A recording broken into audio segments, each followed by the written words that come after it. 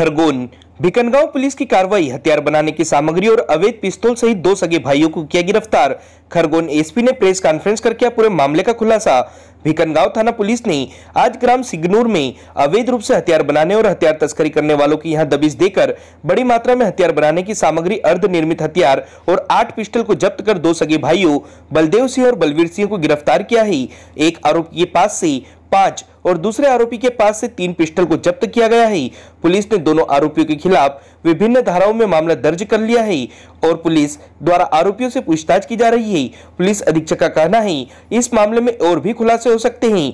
ग्राम सिग्नूर अवैध हथियार बनाने और अवैध हथियार तस्करी के नाम पर जाना जाता है। समय समय पर पुलिस यहाँ पर कार्रवाई भी करती है।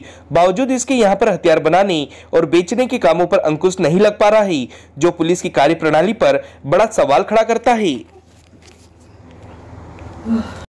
आधार पे जो पता चला कि दो संदिग्ध हैं, वो कहीं पर वेपन सप्लाई करने के उद्देश्य से जा रहे हैं। तो उनके आइडेंटिफिकेशन आइडेंटिफाई करके उनको जब नैप किया गया, उनको पकड़ा गया और उनकी तलाशी ली गई तो उनमें से जो दो व्यक्ति थे, उनमें से एक व्यक्ति के पास करीब उसके बैग से पाँच हम लोगों को ये देसी कट्टे प्राप्त हुए, और दूसरे व्यक्ति से करीब तीन हम लोगों को देसी कट्टे मिले। ये दोनों व्यक्ति हम उनका अपना सिग्नू गाँव के रहने वाले हैं और दोनों भाई हैं। एक का नाम इसमें बलवीर सिंह है, पिता शिवदान सिंह और दूसरा उसका भाई है, बलदेव सिंह। बलवीर सिंह की उम्र करीब उन्नीस साल है, और जो बलदेव सिंह है, वो वैसे दिव्यांग है, और उसकी उम्र करीब अट्ठाईस साल है।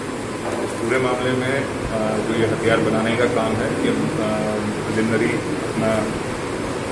बलदेव सिंह ही करता था, और उसकी सूचना के आधार पर जब उससे पूछताछ की गई कि उसका ये निर्माण कार्य कहाँ पे वो करता था, वहाँ पे जब पुलिस के द्वारा